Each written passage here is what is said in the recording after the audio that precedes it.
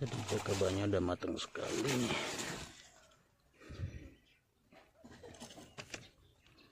Kita saring untuk kita ambil lagi. Untuk kita pergunakannya untuk tanaman kita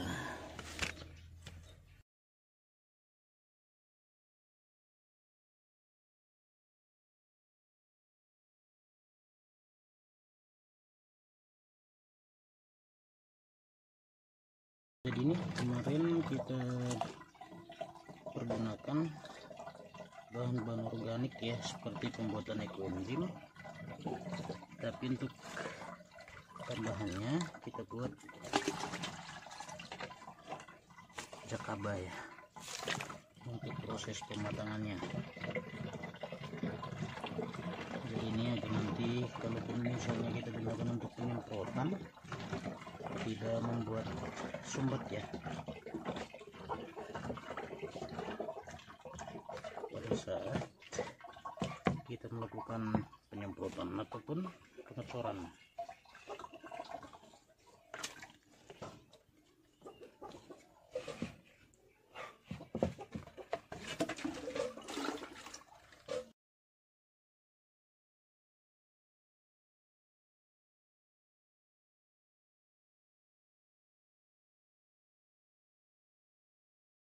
ini jakaba yang kita kemarin proses dengan menggunakan bahan-bahan organik.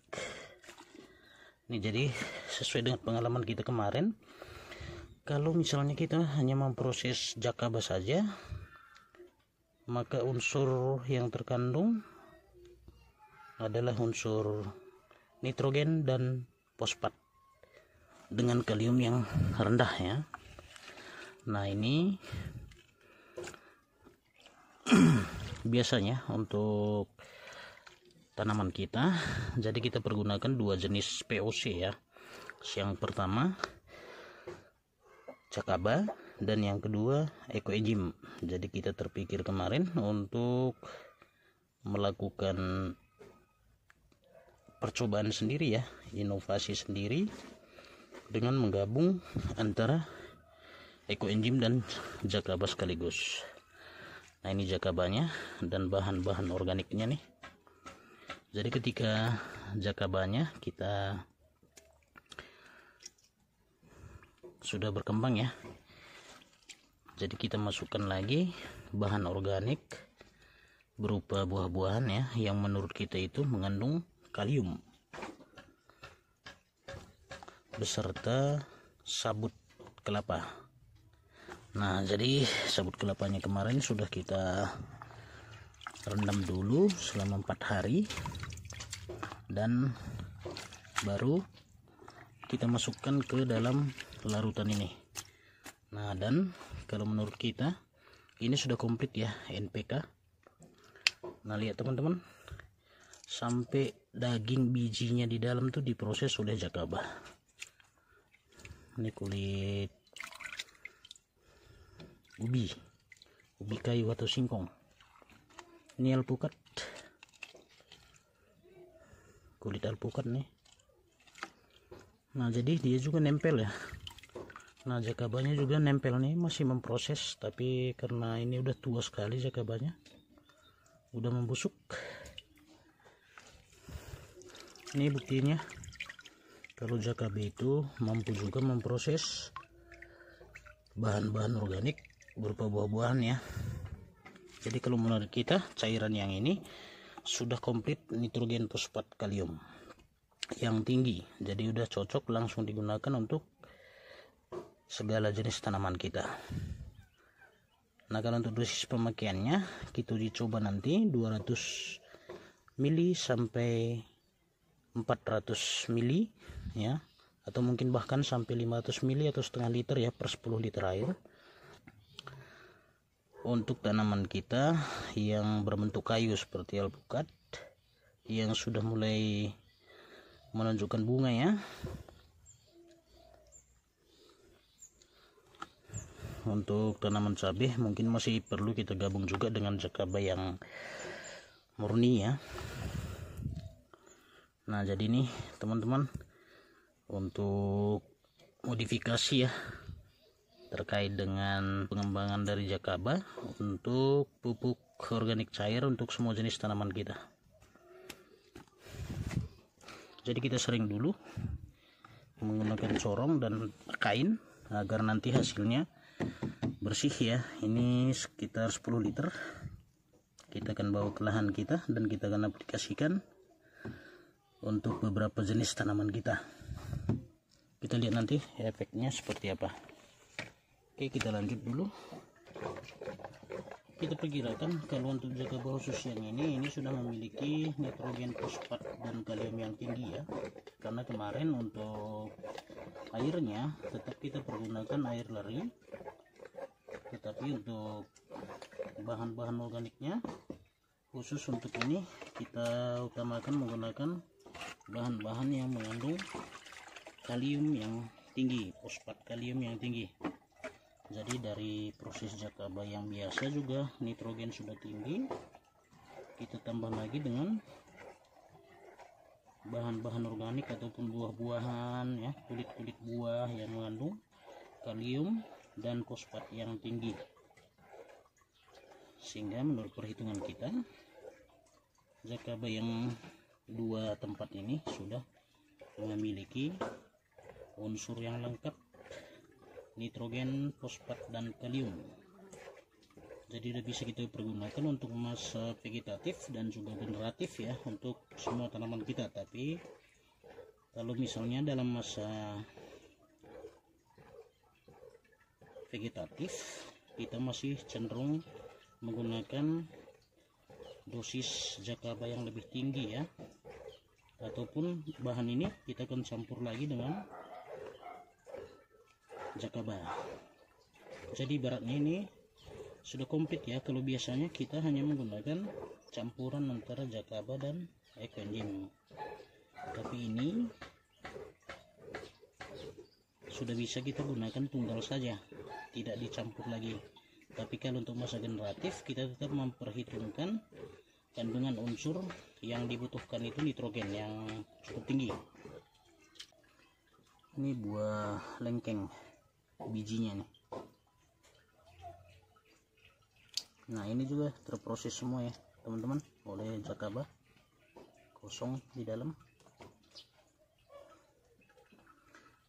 Ini buktinya kalau jakaba itu memakan semua ya. Sampai ke dalam-dalam tembus kulitnya ini jakabanya udah di dalam nih. Nah ini jakabanya luar biasa teman-teman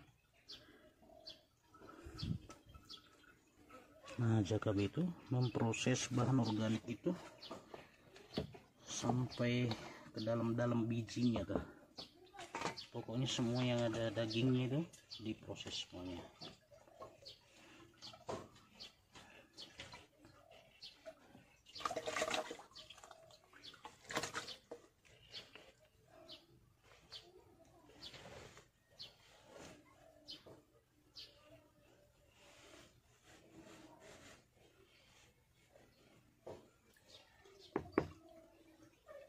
ada sumber jadi kainnya mungkin kita cuci dulu.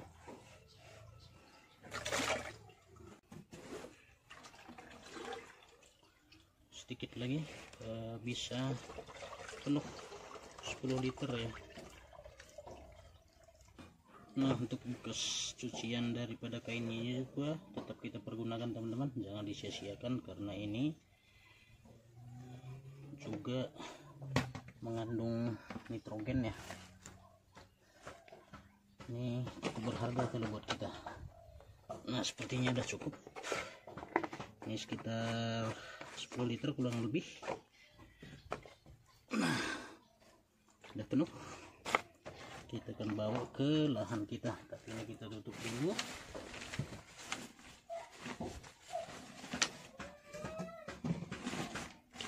Nah ini juga sama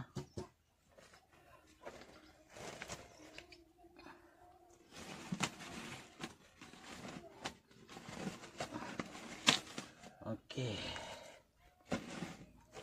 Ini kita cuci dulu. Cucian ini tadi tetap kita pakai ya. Jangan dibuang-buang ini pupuk teman-teman. Ini tadi hasil pencucian saringan jeko kita Jakaba Ecoenzym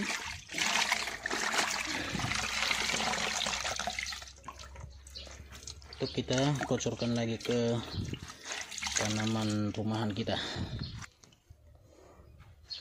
Kita tambahkan lagi mungkin air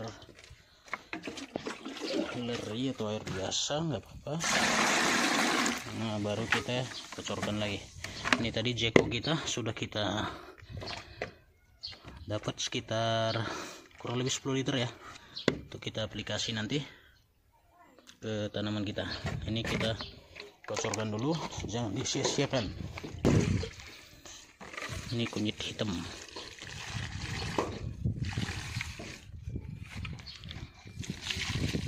Ini daun seledri atau sop. Udah mulai berbunga. Ini yang masih muda nih. Ini kita pakai terus nih. Jakaba dan ecoenzym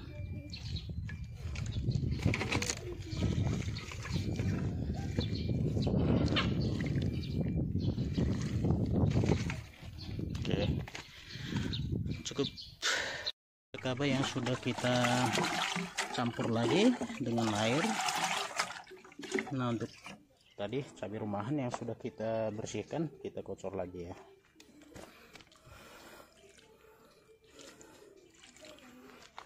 Kalau tadi semak sekali nih teman-teman ini udah kita bersihkan. Ini umur dua mingguan ya kalau tidak salah. Sekedar uji coba nih. Kemarin sudah kita uji coba untuk cabai rawit caplak ya. Dan cabai rawit halus itu bagus sekali.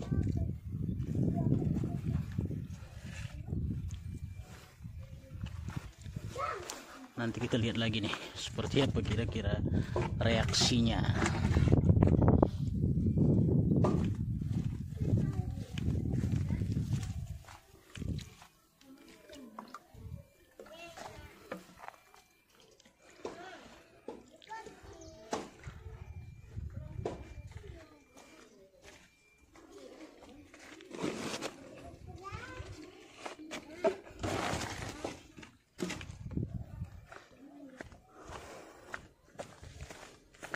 Oke, nanti kita lihat lagi. Ini kemarin hasil caplaknya udah hampir setahun ya. Ini memang nggak dirawat lagi kemarin, tapi nggak apa-apa kita uji coba lagi. Biasanya langsung keluar tunas lagi. Kalau misalnya kita siramkan jakaban. Oke.